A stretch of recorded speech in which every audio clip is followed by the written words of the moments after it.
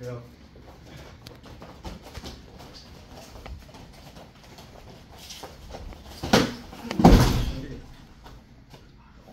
Oh, it? yeah, Oh, that's over. Winner by KO, Tony.